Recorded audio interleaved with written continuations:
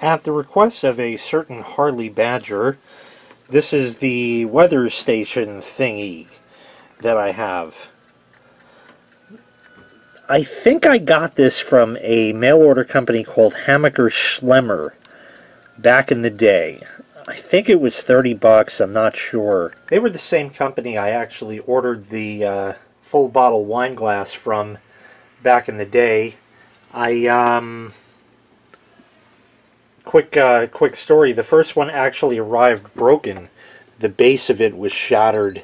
I still have it somewhere, I think. So I have the, you know, the goblet part and part of the stem but the rest was broken. They sent me a replacement, no questions. But I saw this thing, and I said, this just looks too awesome, I can't pass it up. So if we take a closer look in there, it looks really delicate and really precise, and how delicate and precise it is, I don't really know. The top is the barometer, which is reading sort of in the rain section, and it is sort of a rainy day. Uh, the next part is the thermometer and then the hygrometer. So there's the thermometer. It's about 70 degrees or so. There's just a lot of glare on this thing, so it's hard to see from uh, all the lights in that. And the bottom is the hygrometer, which is reading 78-ish or so, somewhere in there. High 70s, so it's getting a bit humid also.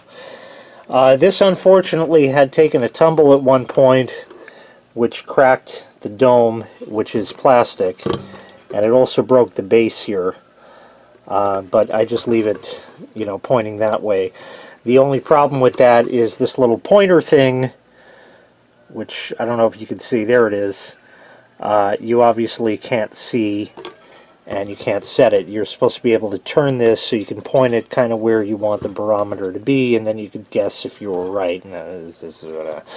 So anyway, that's that, and it's just this, the needles sort of wiggle like that, and it just sits there and it does its thing. There's nothing here. I guess you can adjust something on it. I, I never had to or did. I, I don't know anything more about this it was one of those one-off purchases and I made it and I have it and then it got broken anyway and it still works and I guess it's probably about right. So that was the little weather station thing, thingamajobber. Just a cool looking piece, which is really the main reason I got it. Thanks for watching. Make sure you click like, make sure you click subscribe, and take care. We'll see you next time. Bye-bye.